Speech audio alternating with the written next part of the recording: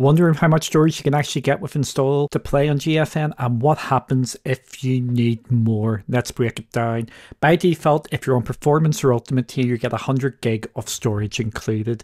That's enough for quite a few games because most of the install to play titles I have seen are in the 1 to 10 gig sort of range. A handful of bigger ones go up to about 30 gig, but even then you can comfortably juggle a decent library without worrying too much about space. But if you want more room, Nvidia makes it pretty simple. In the GFN app, just go to the hamburger menu, go into settings, then account, and then you'll see an option to add storage. From there, it will open your browser to update the details, and that is where I'm ending this demo for obvious reasons.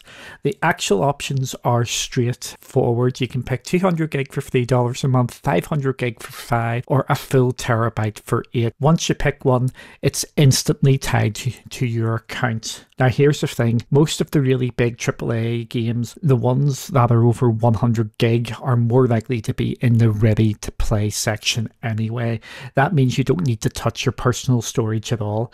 Install to play is really about giving you the flexibility of smaller games, experimental games, retro games, or indies. So yeah, you can start with 100 gig included, upgrades are cheap if you need them, and installs are quick enough that swapping games in and out isn't really a hassle. Honestly, storage in GFN isn't a big problem unless you want to keep absolutely everything installed at once.